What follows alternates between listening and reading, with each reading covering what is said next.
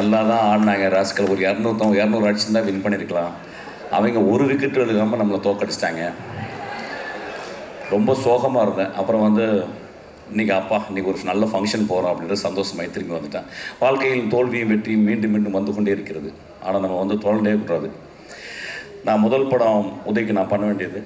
உதய் வந்து ரொம்ப தங்கச்சி என் தங்கச்சி வந்து கேட்டுச்சு. ஆனால் உதய்க்கு வந்து படம் பண்ணோன்னே. ஒரு உதய வந்து ஃபோட்டோஷூட்லாம் எடுத்து ஒரு நல்ல பயங்கரமான ஒரு ஆக்ஷன் படமாக எடுக்கலாம்னு சொல்லி எடுத்தேன். உதய வந்து வேணாம் நான் நிறையா லவ் பண்ணணும். நான் லவ் பண்ணுற ராஜேஷ் மாதிரி ஒரு குட்டிச்சவராக போன டேரக்டர் நிறைய பேர் இருக்காங்க. லவ் படமாக நடிக்கணும்னு சொல்லிட்டு ராஜேஷ் மேலாம் போயிட்டார். இல்லைன்னா ஒரு பெரிய ஆக்ஷன் ஹீரோவை நான் உருவாக்கியிருப்பேன் ஆக்சுவலாக எட்டு வருஷம் கழிச்சு உதய் வந்து அதுவும் திரும்பி என் தங்கச்சி வந்து அதுவும் எப்படின்னா எனக்கு எப்படி வாழ்ப்பு இருந்துச்சுன்னா ஒரு படம் நின்றுச்சு. ஒரு படம் நின்று வேறு நெக்ஸ்ட் படம் வந்து ஃபிக்ஸ் பண்ணுறதுக்காக உடனே வந்து என்கிட்ட வந்தாங்க. எங்கள் எப்பயுமே என்னுடைய செல்ஃபில் கொஞ்சம் கதை ஒரு இரு இப்போ இருபத்தாறு கதை இருக்குது சுந்தர் சார் வேணும்னா வாங்க த தரேன் சார் உங்களுக்கு. உடனே சார் இருக்கிற கதை உங்கள்கிட்ட இருக்குது சார். அப்படின்னா நான் வந்து சைக்கோ பண்ணோம் சைக்கோ வந்து ரொம்ப அழகான ஒரு அனுபவம். ஏன் உதய் வந்து ரொம்ப முக்கியம் அப்படின்னா அவர் பெரிய நடிப்பில் வந்து ஒரு கமலஹாசனும் சிவாஜி மாதிரி கிடையாது. ஆனால் பண்பில் உதய் மட்டும்தான் தமிழ் சினிமா. ஏன் அவரை திரும்பி திரும்பி நடிக்கணும் அப்படி சொல்கிறேன்னா எங்களை மாதிரி டேரக்டர்களுக்கு வந்து அவ்வளோ கம்ஃபர்டபுள் ஆக்சுவலி அவர் ஒர்க் பண்ணுறது வந்து. அவர் ஒர்க் பண்ணுறது அவ்வளோ கம்ஃபர்டபுள் நான் வந்து எனக்கு வந்து உதய் வந்து ஒரு தடவை சொல்லும்போது பெரிய ஷாக்கிங்காக இருந்துச்சு. நான் முதல்வரை பார்க்கும்போது நான் உதய் சொல்லிச்சேன் இல்லை சார் நான் அந்தமாதிரி நடிக்கல அப்படின்னு சொல்லும்போது நான் ரொம்ப இந்த மேடையை ரொம்ப முக்கியமான மேடையாக பார்க்குறேன். கழகத் தலைவன் தான் அவர் நெக்ஸ்ட்டு அதில் மாற்றமே கிடையாது. அதில் மாற்றமே கிடையாது. ஏன்னா என் படம் ஒர்க் பண்ணும்போது வந்து ரொம்ப டென்ஷனான டைமு உதய் வந்து கிட்டத்தட்ட ஒரு ஒரு ஒரு இருபத்தி நாலு மணி நேரத்தில் ஒரு ரெண்டு மணி நேரம் கூட தூங்கியிருக்காது எனக்கு தெரியும். கேரவனில் போய் கூட தூங்காது. பிரச்சாரம் பண்ணிக்கிட்டே இருந்து இருந்து இருந்து அப்புறமா எனக்கு ஒரு சின்ன ஒரு சிக்ஸ் ஹவர்ஸ் அல்லது ஃபோர் ஹவர்ஸ் எனக்கு டைம் கொடுக்கும். நான் பார்ப்பேன் உட்காந்த பக்கத்தில் அப்படியே கண்ண மூடி கொஞ்சம் நேரம் அசதியாக இருந்து தூங்கும். அந்தளவு டெடிக்கேட்டடான ஒரு ஒரு பர்சனாலிட்டி ஆக்சுவலி ஸோ அதனால தான் நாங்கள் ஒர்க் பண்ணி முடித்த மாதிரி அவ்வளோ ஸ்வீட் அவ்வளோ பெரிய குடும்பத்துலேருந்து வந்து அவ்வளோ பவர்ஃபுல்லான ஒரு இடத்துலேருந்து வந்து அவ்வளவு எளிமையாக அவ்வளவு ஒரு எளிமையாக எனக்கு தெரிஞ்ச தமிழ் சினிமாவில் யாருமே கிடையாது. இவ்வளோ எளிமையாக யாருமே இருக்க மாட்டாங்க. அந்த எளிமைக்கு சொந்தக்கார ஒரு தம்பி உதய் தயவு செய்து நான் என்ன சொல்கிறேன் ஒரு ஒரு வருஷத்துக்கு வந்து முந்நூற்றறுபத்தஞ்சு நாள் இருக்குது அதில் ஒரு நூறு நாள் நீங்கள் வந்து தயவு செய்து நடிக்கணும் நான் ரொம்ப சின்சியராக கேட்டுக்கிறேன். ஏன் கேட்டுக்கிறேன் அப்படின்னு கேட்டால் வந்து நீங்கள் இல்லாமல் தமிழ் சினிமாவில் வேறு இல்லை அப்படின்னு சொல்ல வரல.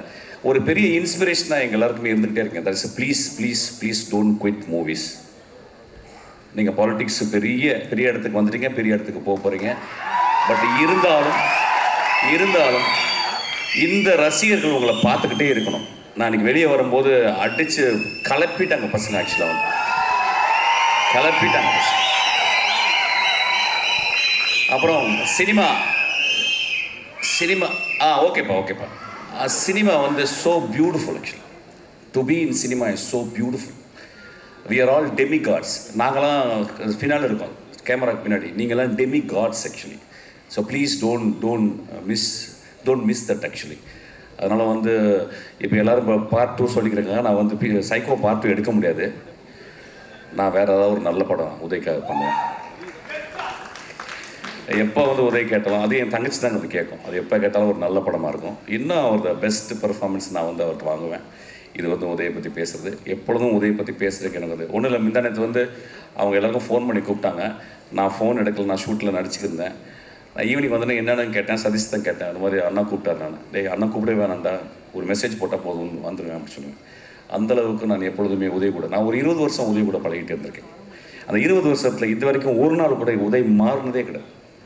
குரோத்து வேற இடத்துல குரோத் இருக்கு. ஆனால் மனசு லெவலில் அவர் அப்படியே இருக்கிறார் ஆக்சுவலாக அவர் நாம் ஒரு மிக முக்கியமான ஒரு மனிதன் நாங்கள் சொல்லலாம் அவனே பயங்கரமாக ஐஸ் வைக்கிறது ஏதோ அப்படின்னு சொல்லலாம் ஐஸ் எல்லாம் வைக்கலாங்க ரொம்ப சின்சியராக பேசுகிறேன் அவர் கூட ஒர்க் பண்ணாங்க அவங்க கூட இருக்கிறவங்க எல்லாருக்குமே உதவி பற்றி தெரியும். அவ்வளோ ஸ்வீட் ஆக்சுவலி அவ்வளோ ஸ்வீட் படம் ஆரம்பிக்கும் போது அங்கே நான் வந்து உட்காந்துருக்கும் போது மகள்கிட்ட அவர்கிட்டையும் வந்து ஏதோ பேசுகிறாங்க உதவிக்கு ஏதோ இது பண்ணீங்களா இது பண்ணலையா அப்படி ஏதோ கேட்டாங்க நான் சும்மா காதில் கேட்டேன் ஒட்டு கேட்கல உதய். அப்போ கேட்கும்போது வந்து இவ இவர் சொல்கிறார் இல்லை இல்லைன்னு இவர் கன்வின்ஸ் பண்ண பார்க்குறாரு மகள். தம்பி வந்து ரொம்ப காமாக சொல்லு இல்லை இல்லை கொஞ்சம் ப்ளீஸுங்க ப்ளீஸ் உதய் ப்ளீஸ் யூஸ் பண்ணுற தேவையா? ஆனால் எப்பொழுதுமே மனிதர்கள்ட்ட அப்படி அவ்வளோ ப்ளீஸிங்காக வந்து அது வந்து பேசும். உதய் ரொம்ப நல்லா இருப்பீங்க. தயவுசெய்து சினிமா விட்டு குவிட் பண்ணாதீங்க please it's my very genuine my genuine ரிக்வஸ்ட்டாக எடுத்துக்கங்க. அப்புறம் மகிழ் இப்போ ஒரு சின்ன பாம்பு போடுறேன் பாருங்களேன். மகிழ் படம் எதுவுமே பார்க்கல. இப்போ உடனே நாளைக்கு போய் எழுதிடுவாங்க எவ்வளோ திமிர் இருந்தா? மகிழ் படம் பார்க்குறதுக்கு திமிரு வேணுமா? இல்லை திமிர் இல்லாமல் இருக்கணுமான்னு தெரியல ஆக்சுவலாக ஐயா முந்நூற்று முந்நூ முந்நூற்றி அறுபத்தஞ்சு நாளில் வந்து ரெண்டு படம் தான் ஒர்க் பண்ண முடியுது. அதுக்கப்புறம் அவ்வளோ அவ்வளோ வேலை இருக்குல்ல அவள் வேலையில் அவ்வளோ வேலை செய்யாமல் சமல் சினிமாவில் இந்த மேடையில் வந்து நிற்க முடியாது அவ்வளோ காம்படிட்டர்னா உலகம். படம் பார்க்கக்கூடாதுன்னு கிடையாது. படத்தை விட மகிழ் எடுத்த எல்லா படத்தையும் விட அவர் அவ்வளோ மென்மையான மனிதர். அவ்வளோ அழகாக வந்து ஒரு மனிதர்களோட பழகுவார். என்னுடைய நல்ல ஞாபகம் இருக்கும் ஃபஸ்ட் படம் சித்திரம் பேசி பார்த்து வந்து அவர் என் கையை பிடிச்சி வந்து அவ்வளோ சென்சிபிளாக அவ்வளோ அமைதியாக பேசினார். எனக்கு ரொம்ப சந்தோஷம். இந்த படம் நிச்சயமாக பார்ப்பேன். இந்த படம் பார்ப்பேன். நான் ஃபஸ்ட் டே ஃபஸ்ட் ஷோ பார்க்குறேன் ஆக்சுவலாக ஏன்னா அந்த படத்தை பார்க்கும்போது தெரியுது படம் ஹிட்டுன்னு தெரியுது. ஏன்னா படத்தை வந்து நீங்கள் ட்ரைலர் பார்த்து பார்த்தீங்கன்னா ஒரு ஷார்ட்டை ஒரு ஷார்ட்டை வச்சு பார்க்கும்போது ஒரு டேரக்டருக்கு இன்னொரு டேரக்டரை பற்றி தெரிஞ்சிடும் ஆக்சுவலாக ஸோ ரொம்ப ரொம்ப ப்ரிசைஸாக அவர் எடுத்திருக்காரு. எனக்கு ரொம்ப சந்தோஷமாக இந்த படம் ஒரு மிகப்பெரிய சாதாரணமாக அந்த படம் வெற்றி அடையும் ஆக்சுவலாக ரொம்ப சாதாரணமாக இதோடைய பார்ட் டூ நீங்கள் பண்ணிடுங்க உதய திரும்பி பிடிச்சிக்கங்க. அப்புறம் ஸ்ரீகாந்த் தேவா ரொம்ப நாளைக்கு அப்புறம் பார்த்தேன். ரொம்ப தேங்க் ரொம்ப சந்தோஷம் ஸ்ரீகாந்த் தேவா.